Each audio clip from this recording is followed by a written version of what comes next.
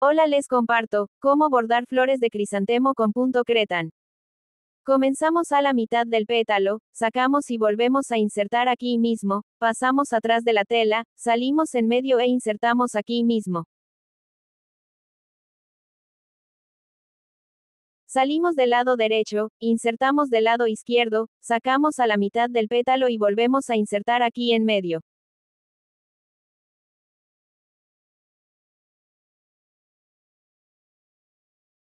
Estoy utilizando un hilo matizado, en hebra doble es hilo cristal.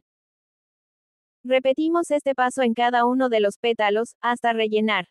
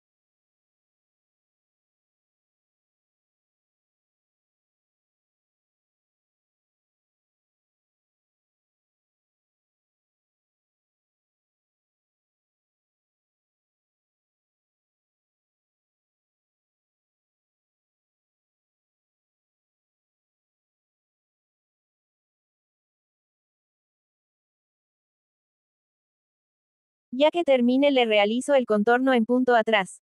Y así de bonito y fácil, bordamos esta flor crisantemo.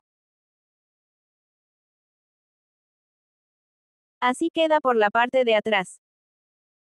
Aquí en un pequeño video corto, les dejé como yo realizo mis hilos matizados por si quieren realizarlo también.